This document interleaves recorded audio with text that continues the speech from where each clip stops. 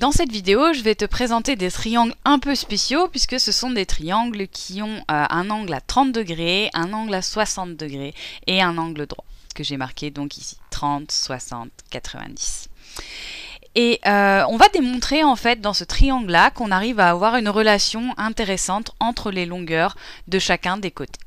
Donc par exemple, si j'appelle x ici, euh, la longueur de l'hypoténuse. Donc je te rappelle que c'est l'hypoténuse parce que c'est le côté qui est en face de l'angle droit ici.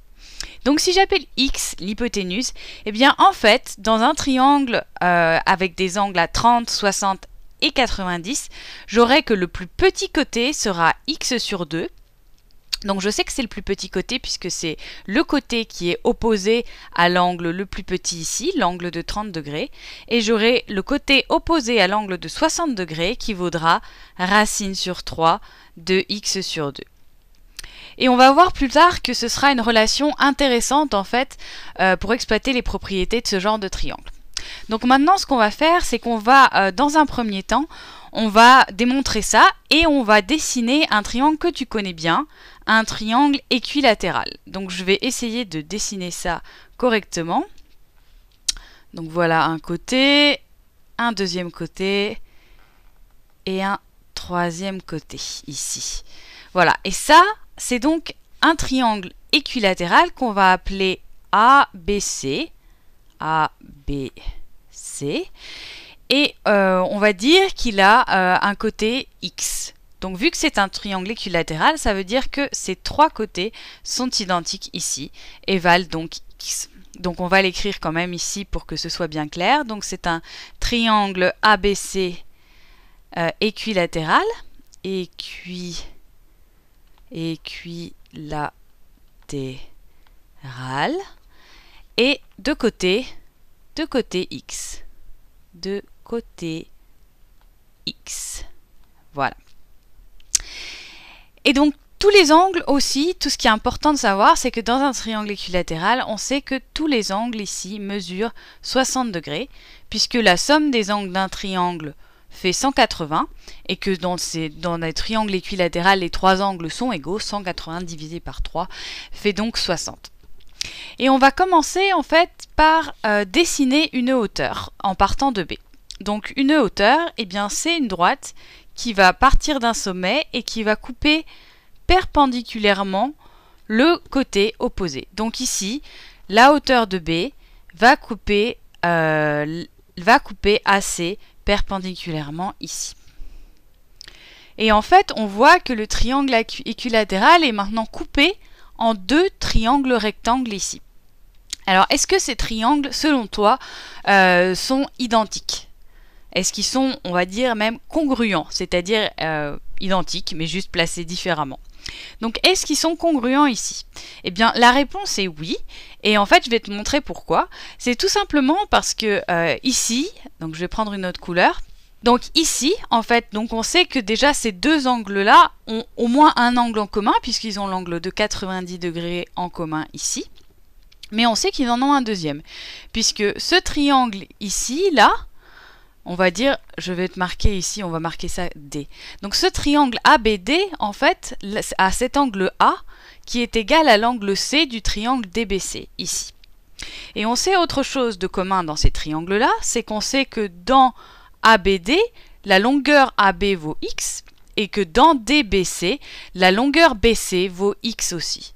Donc ici, on a deux triangles qui ont deux angles en commun, l'angle à 90 et l'angle à 60, et ils ont aussi un côté en commun. Donc, ces triangles-là, on dit qu'ils sont congruents ici. Donc soit deux angles un côté ou deux côtés un angle. Donc en fait, ici, puisque ces triangles sont congruents, ce qu'on remarque, c'est que donc ce côté-là va être égal à ce côté-là, c'est-à-dire que AD va être égal à DC ici, et aussi que l'angle ici sera identique à celui-là. Et pour être plus précis, cet angle-là va être de 30 degrés. Donc ce que tu vois, c'est qu'en fait ces triangles-là, ce sont des triangles avec un angle à 30 degrés, un angle à 60 degrés et un angle à 90 degrés. Donc on est exactement dans cette configuration-là. Et donc ce que je te disais, c'est que les côtés AD et DC sont identiques ici. mais plus précisément, ils valent x sur 2. Donc je vais le marquer, x sur 2, et des deux côtés, puisque les triangles sont identiques. Et donc ce qu'on voit, c'est qu'on a déjà prouvé la première partie en fait de notre problème, puisqu'on a montré que le plus petit côté ici, et donc ici du triangle, vaut x sur 2. Donc maintenant, on va essayer de montrer que euh, ce côté-là, ici, et qui est donc en fait la hauteur ici, vaut racine de 3 sur x2. Et pour ça, en fait, ce qu'on va faire, c'est qu'on va appliquer le théorème de Pythagore dans ce triangle ici. Je vais te le mettre en bleu pour que tu vois bien. Donc dans ce triangle ici, on va appliquer le théorème de Pythagore. Et donc qu'est-ce que nous dit le théorème de Pythagore? Le théorème de Pythagore nous dit que l'hypoténuse au carré est égale à la somme des carrés des longueurs des plus petits côtés.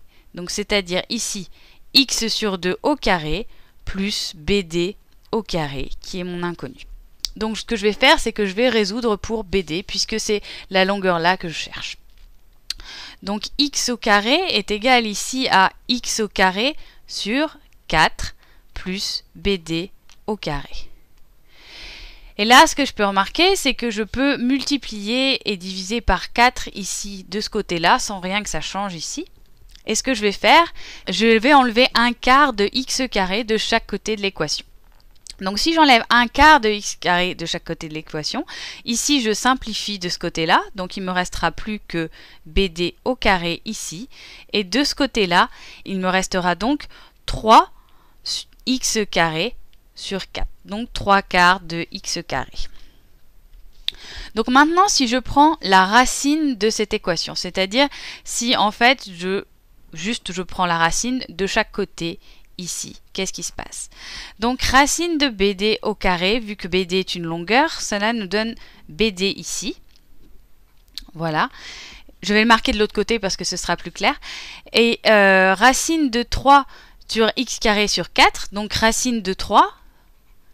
X carré, ça nous donne x, puisque x est une longueur, donc est forcément positif. Et ensuite racine, donc là c'était racine de 4, euh, ça nous donne donc ici, on retrouve en fait euh, le résultat euh, qu'on avait ici, c'est-à-dire que ce côté du triangle, celui qui est face à l'angle de 60 degrés ici, donc ici qui est face à l'angle de 60 degrés, ce côté-là vaut racine de 3 sur x2.